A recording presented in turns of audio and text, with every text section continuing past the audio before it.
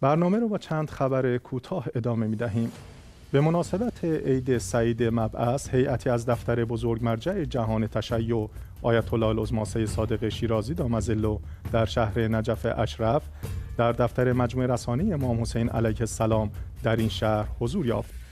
در این دیدار همچنین تأسیس دفتر نجف اشرف مجموعه رسانه امام حسین علیه السلام تبریک گفته شد و نیز به خاطر پخش برنامه های زنده در ایام مبعث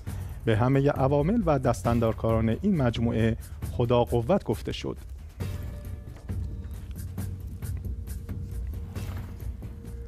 دانشمندان می‌گویند با توجه به روند تحقیقات فعلی روی روش های درمان انواع سرطان نسل بعدی درمان های این بیماری می تواند بین 5 تا 10 سال دیگر در دسترس قرار گیرد.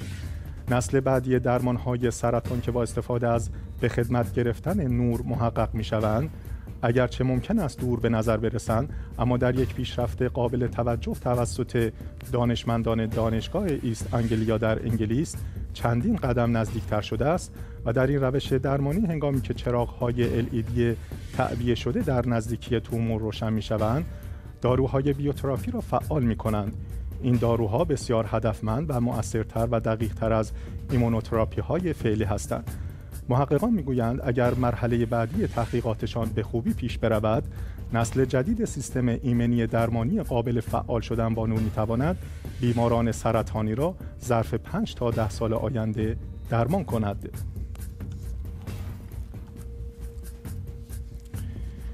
فیفا به عنوان بزرگترین نهاد بین المللی فوتبال در جهان از تصمیم خود برای اعطای امتیاز حامی مالی به سازمان گردشگری عربستان برای برگزاری جام جهانی زنان خبر داد. دیدبان حقوق بشر در واکنش به این تصمیم فیفا آن را به شدت مورد انتقاد قرار داد.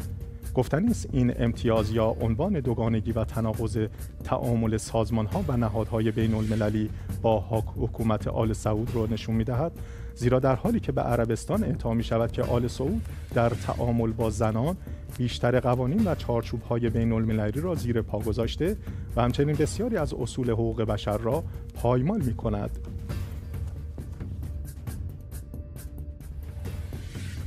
سازمان دفن اسلامی که توسط گروه از پیروان اهل بیت اسمت و طهارت علیهم السلام در ایالات متحده آمریکا تأسیس شده از عزم خود برای ساخت دو قبرستان ویژه شیعیان خبر داد. گفته می شود این دو قبرستان وادی السلام و وادی الحسین علیه السلام نامگذاری شده و قرار است در ایالات کالیفرنیا که تعداد زیادی شیعه را در خود جای داده تأسیس شوند. سازمان دفن اسلامی همچنین وبسایتی را اندازی کرده و در آن اصول و قوانین مراسم تدفین مسلمانان شیعه بر اساس اصول اسلامی و تعالیم اهل بیت علیهم السلام را به طور کامل شرح داده است.